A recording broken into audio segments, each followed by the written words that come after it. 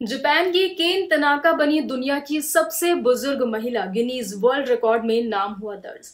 Guinness world record ने हाल ही में केन तनाको को दुनिया के सबसे पुराने जीवित शख्स के रूप में मान्यता दी है। वो जापान की सबसे उम्रदराज शख्सियत बन गई हैं। आपको बता दें कि केन तनाका शनिवार को 117 साल और 261 दिन की हो गई थी।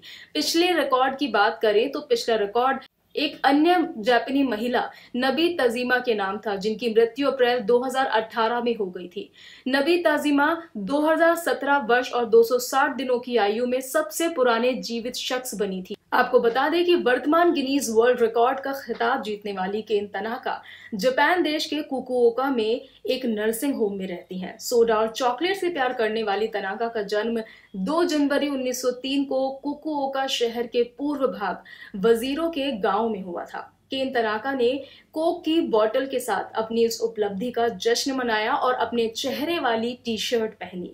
ये उनके परिवार के सदस्यों द्वारा उन्हें दिया गया एक तोहफा। साथ ही केन तनाका का स्वास्थ्य अभी भी अच्छा है। उन्होंने बताया कि वो कोरोना वायरस महामारी के कारण पारिवारिक यात्राओं पर प्रतिबंध के बावजूद हर दिन अपने जीवन का आनंद ले रही हैं। उन्होंने कहा कि एक परिवार के रूप में हम नए रिकॉर्ड से खुश हैं और गर्व महसूस कर रहे हैं।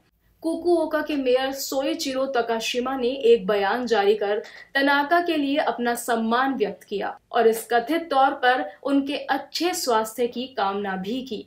इंडिया हॉट टॉपिक्स की रिपोर्ट।